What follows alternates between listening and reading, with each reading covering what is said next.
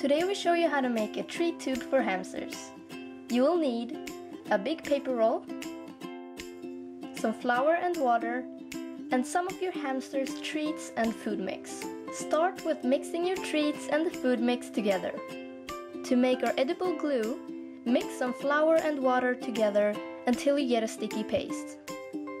Now cover the inside of the paper roll with the flour mixture.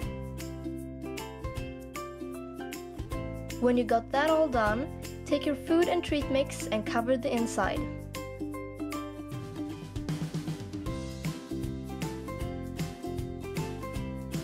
Now press it to the walls, then put it in the fridge to let it harden. Thanks for watching everyone, I hope you enjoyed, bye!